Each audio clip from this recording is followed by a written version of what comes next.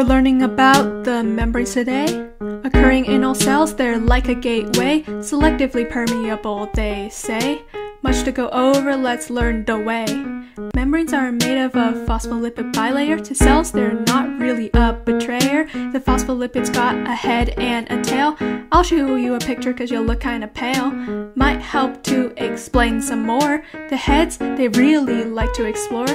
Hydrophilic in water they love to attract. The tails, however, aren't a fan of that.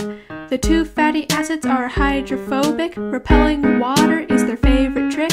Since they're a bilayer, the phospholipids double, tails facing in like they're forming their own bubble. The membrane's got some cholesterol, helps with the fluidity at the dance hall.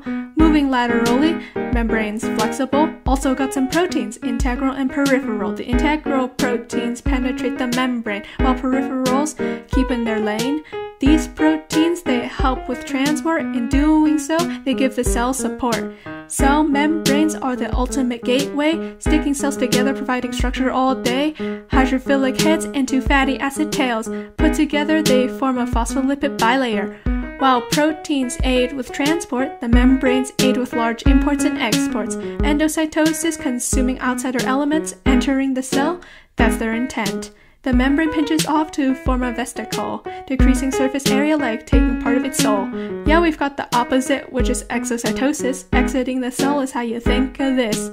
Those vesicles transport stuff out to the membrane, increasing surface area, getting them gains. These processes have transporting stuff in common. Pinocytosis and phagocytosis, how they get it done. Cell membranes are the ultimate gateway, sticking cells together, providing structure all day. Hydrophilic heads and two fatty acid tails. Put together, they form a phospholipid bilayer. Moving on, we're gonna explore pinocytosis, transporting fluids and small particles. Who dis? Phagocytosis transports two, delivering large particles, not letting them roam. The membrane is selectively permeable. They let some things in, but not all that's on the table. So many cells, they gotta recognize each other. Glycoprotein and glycolipids are how they do it. Cell membranes are the ultimate gateway, sticking cells together, providing structure all day. Hydrophilic heads and two fatty acid tails. Put together, they form a phospholipid bilayer.